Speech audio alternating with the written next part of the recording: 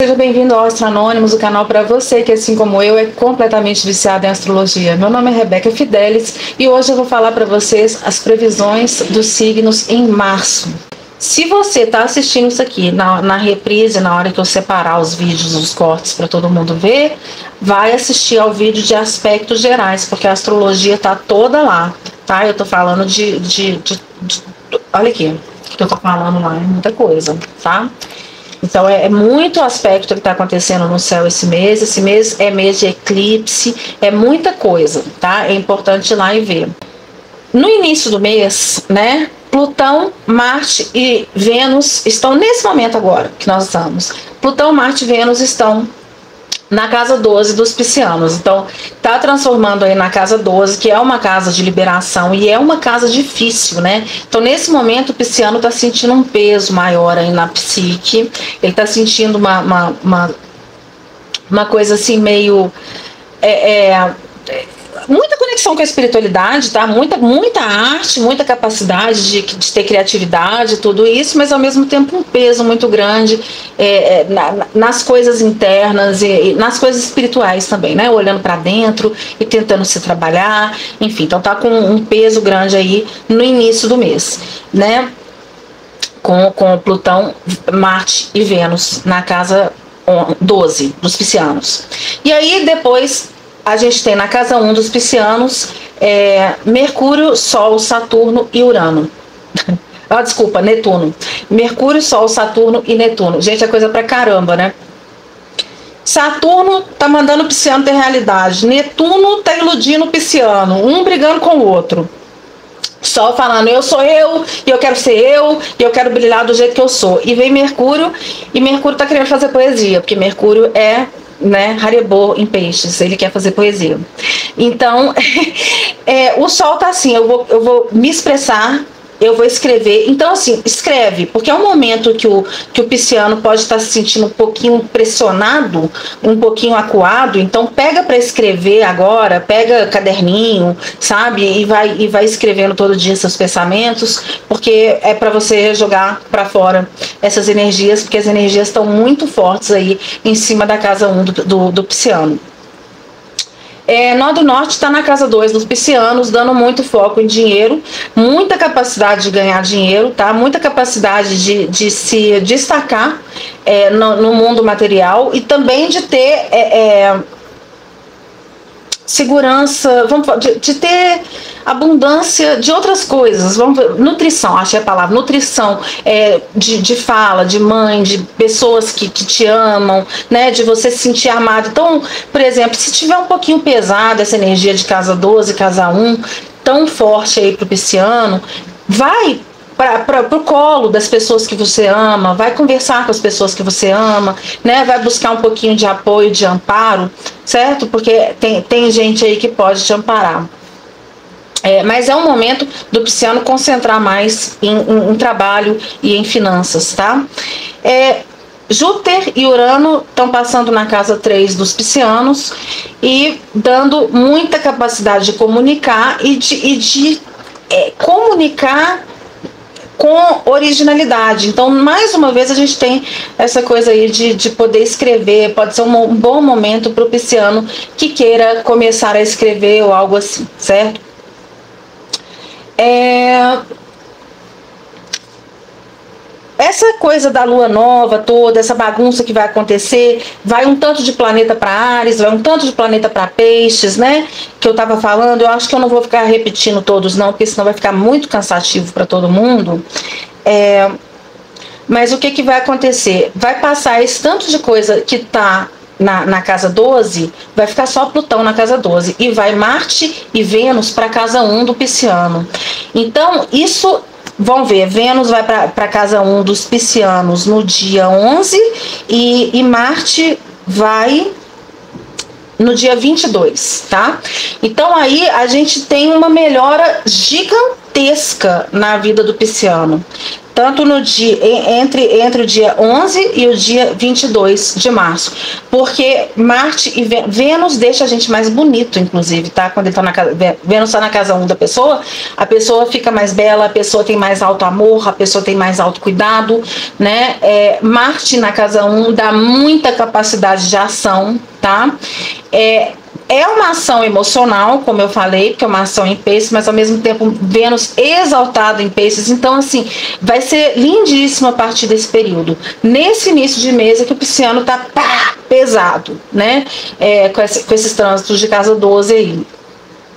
É, e aí depois a gente tem né, é, Mercúrio e Sol indo para Ares. Né? E Mercúrio e Sol, quando vão para Ares, na casa 2, então eles vão dar mais capacidade de ganhar dinheiro ainda. Então a gente vai estar com Marte na casa 1, um, Vênus na casa 1, um, Vênus é dinheiro, Marte é ação, operacionalização, Sol e Mercúrio e a capacidade de raciocinar vão estar lá na casa 2 pensando no dinheiro, focando no dinheiro.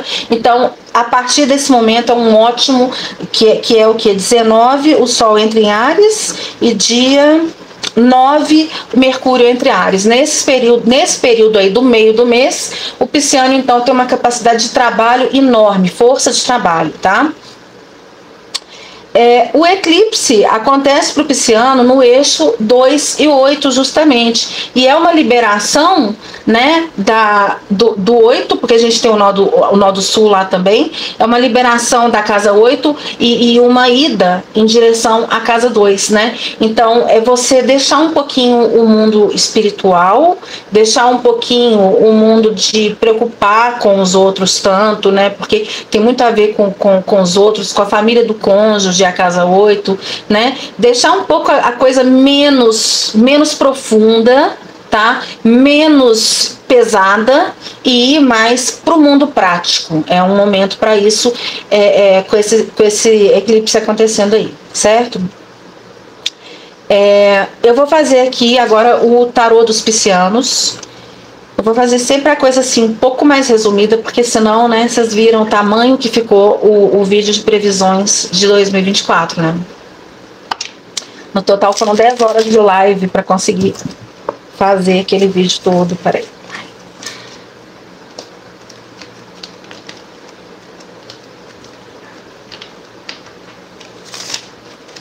Márcio Cristiano, por favor. Mês de março desse ano.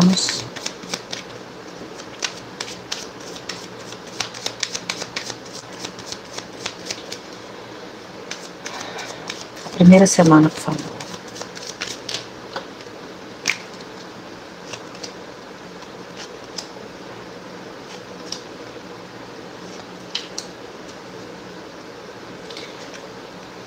Na primeira semana de março, o pisciano está tentando se equilibrar por causa de algum término que teve no passado, alguma coisa que finalizou, algum ciclo ruim, difícil que terminou, certo? O pisciano está tentando se equilibrar e, e, e a, equilibrar aqui com a temperança e é, se empoderar, se amar mais, se, se dar amor, tá? Se cuidar mais.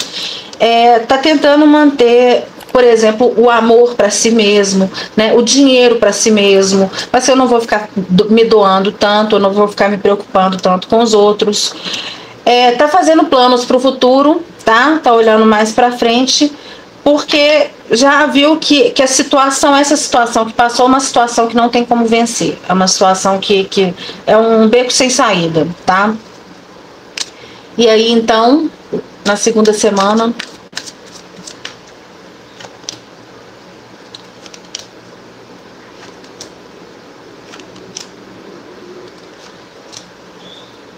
Na segunda semana, o pisciano está tentando olhar para dentro e entender as, a, qualquer coisa que tenha acontecido aí nessa história, né? Tentando entender essa história direito, tentando compreender as coisas. Liliane falou pisciana aqui, Sol e Mercúrio na casa 12. Seja muito bem-vinda, Liliane. É, o pisciano está olhando para dentro, tentando se compreender, tentando se analisar, tá? Tá olhando para para o inconsciente, está olhando para os segredos que possam ter acontecido nessas situações, tá se defendendo, ele tá se protegendo. Então, lembra que eu falei que essa coisa tá acontecendo aí na casa 12 do pisciano, tá um pouquinho pesado? É isso aqui, é o mundo do inconsciente, tá? É, o pisciano tá tentando equilibrar essas coisas, tá se defendendo disso, tá tentando se sentir melhor.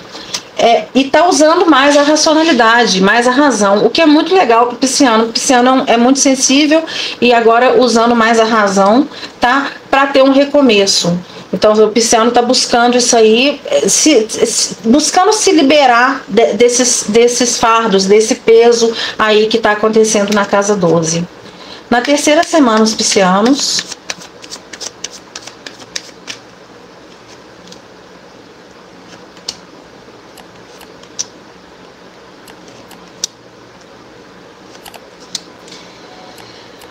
condizendo bastante com a astrologia, né? Eu falei que lá mais pro meio do, do, do mês é, fica tudo muito, muito lindo para os piscianos, porque sai esses trânsitos da casa 12, vai embora, né? E aí o pisciano consegue focar muito mais em trabalho, e aqui tá indo o pisciano a todo vapor executar. Então é Marte entrou na casa 1, né? E Pisciano tá indo executar tudo a todo vapor, ter esse recomeço, tá? Em alguma coisa, por causa dessa coisa que acabou, Pisciano está com clareza mental, então finalmente vem a clareza mental, porque a, a, essa casa 12 que estava super carregada, é, o Pisciano está deixando o Pisciano meio confuso, até porque Netuno está ali também.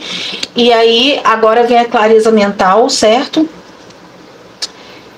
Pisciano está se organizando, se colocando no lugar, voltando a ser ele. Vai, finalmente sou eu de novo, porque a rainha de copas é peixes e deixando para trás todas essas preocupações que estavam te deixando acuado, tá? A quarta semana dos piscianos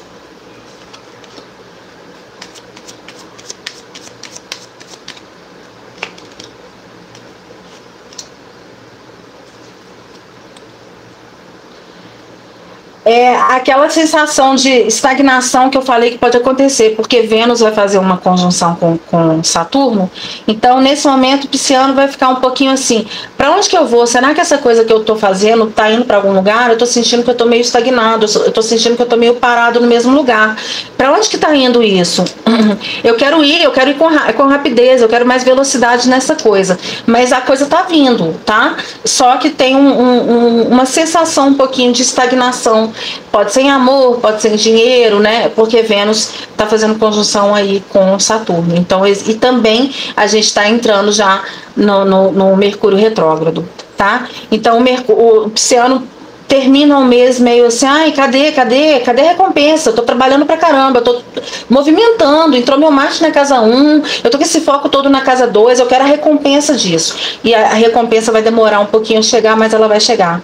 Só que o Pisciano tá no final do mês pensando nisso. É, eu vou pedir um direcionamento pro Pisciano esse mês, um conselho, um conselho geral pro Pisciano esse mês, por favor.